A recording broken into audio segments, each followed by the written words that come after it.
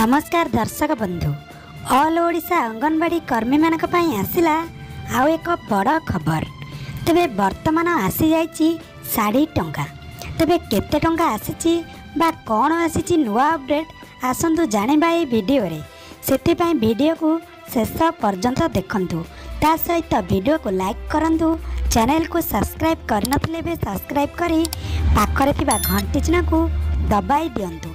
ଯାହାଫଳରେ କି ଏହିପରି ଲାଟେଷ୍ଟ ଅପଡ଼େଟ୍ର ଖବର ସର୍ବପ୍ରଥମେ ଆପଣମାନେ ଜାଣିପାରିବେ ଏବେ ଅଙ୍ଗନବାଡ଼ି କର୍ମୀମାନଙ୍କର ଶାଢ଼ୀ ଟଙ୍କାକୁ ନେଇ ଆସିଛି ବଡ଼ ଖବର। ଯାହାକି ଦୁଇ ବର୍ଷ ହେଲାଣି ଅଙ୍ଗନବାଡ଼ି କର୍ମୀଙ୍କୁ ଶାଢ଼ୀ ବା ନୂଆ କରି ଟ୍ରେନିଂ ନେଇଥିବା ଅଙ୍ଗନବାଡ଼ି କର୍ମୀଙ୍କୁ ସେମାନଙ୍କର ଟ୍ରେନିଂ ଟଙ୍କା ବର୍ତ୍ତମାନ ପର୍ଯ୍ୟନ୍ତ ମିଳିନାହିଁ। ତେବେ ଏବେ ଏବେ ଶାଢ଼ୀ ପାଇଁ ଏକ ଚିଠି ଆସିଯାଇଛି।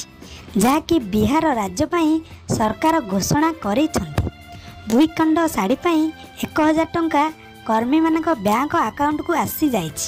ତେବେ ଯାହାକି ଅଲ୍ ଇଣ୍ଡିଆ ରାଲି ସମୟରେ ଏହି ପ୍ରତିଶ୍ରୁତି ଦିଆଯାଇଥିଲା କି ଶାଢ଼ୀ ପାଇଁ ଟଙ୍କା ମିଳିବ ଯାହାକି ବର୍ତ୍ତମାନ କେନ୍ଦ୍ର ସରକାର ବିହାର ରାଜ୍ୟ ପାଇଁ ଅଙ୍ଗନବାଡ଼ି କର୍ମୀଙ୍କର ଦୁଇ ଖଣ୍ଡ ଶାଢ଼ୀ ପାଇଁ ସେମାନଙ୍କ ବ୍ୟାଙ୍କ ଆକାଉଣ୍ଟକୁ ଏକ ହଜାର ଟଙ୍କା ଲେଖାଏଁ ପଠାଇଛନ୍ତି।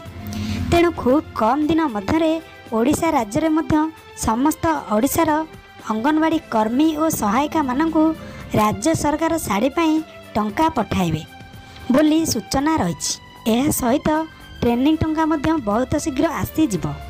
ତେବେ ଦେଖାଯାଉ କେବେ ରାଜ୍ୟ ସରକାର ଏହିସବୁ ଦାବି ପୂରଣ କରୁଛନ୍ତି ଅଙ୍ଗନବାଡ଼ି କର୍ମୀ ଓ ସହାୟିକାମାନଙ୍କର। ତେବେ ଦର୍ଶକ ବନ୍ଧୁ ଇଏ ଥିଲା ଅଙ୍ଗନବାଡ଼ି କର୍ମୀଙ୍କ ପାଇଁ ଏକ ବଡ଼ ଖବର। ଯାହା ଆପଣମାନେ ଏବେ ଜାଣିବାକୁ ପାଇଲେ।